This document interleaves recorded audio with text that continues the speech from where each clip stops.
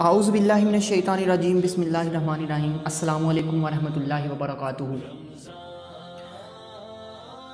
जैसा कि आप सब जानते हैं, अल्हम्दुलिल्लाह अल्हम्दुलिल्लाह, रमज़ानुल मुबारक का तीसरा अशरा पहुँचा है तो इसका मतलब है कि हमें इन दस रातों में से इन रहमान लैलतुल कदर की रात भी नसीब होगी। तो उसके लिए हमें क्या करना चाहिए? सबसे पहले तो हमें मेंटली, स्पिरिचुअली और फिज़िकली हमें इस रात के लिए रेडी होना चाहिए। तो जिस तरह नबी पाक सल्लल्लाहु अलैहि वसल्लम खुद भी इन रात, इन दस रातों में खुद भी जागते और अपने घर वालों को भी जगाते। तो इसी तरह हम सबको भी इन सब रातों को जाग के अल्लाह ताला की इबादत में, अल्लाह ताला के ज़िक्र में गुजारना है इन तो ललतुल कदर की रात क्यों ज़रूरी है? ललतुल कदर की रात के बारे में अल्लाह ताला कुरान पाक में फरमाते हैं, ललतुल कदर खैरुमिन अल्फ़ी शहर। ये एक रात हज़ार महीनों से भी बेहतर है। यानी एक रात की इबादत हज़ार महीनों की इबादत से भी बेहतर है। हज़ार महीनों का मतलब होता है तकरीबन 83 ईयर्स और अल्लाह ताला ने यहाँ पे लिमिट नहीं किया ए, एक हज़ार महीनों के बराबर भी नहीं बोला एक हज़ार महीनों से भी बेहतर। और हमारी एवरेज एज भी 83 ईयर्स नहीं होती है।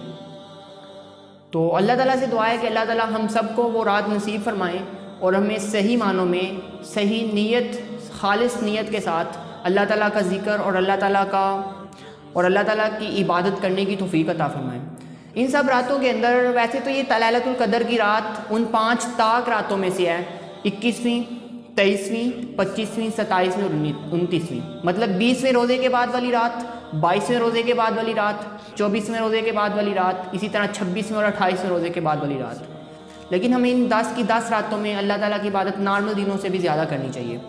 जैसे कि हम जानते हैं जो लोग इतकाफ़ करते हैं, वो दस दिन का ही इतकाफ़ करते हैं इसी एक रात को पाने के लिए। तो इसीलिए जो लोग इतकाफ़ नहीं भी कर सकते, उन्हें भी चाहिए कि वो इन दस की दस रातों को जाग कर अल्लाह ताला की इबादत में गुजारें।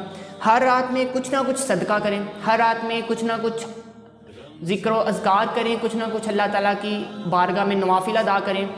सदका जितना भी आप कर सकते हैं, अपनी इस्तात के मुताबिक ज़रूर करें, लेकिन मुस्तकिल मजाजी के साथ। अल्लाह ताला को कंसिस्टेंसी बहुत पसंद है।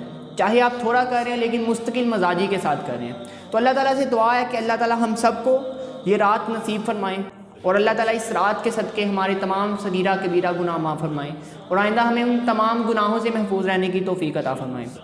और अल्लाह ताला हमें हमेशा हम सबको अपनी रहमत के साय में रखें। वसलम वरहमल वर्का on.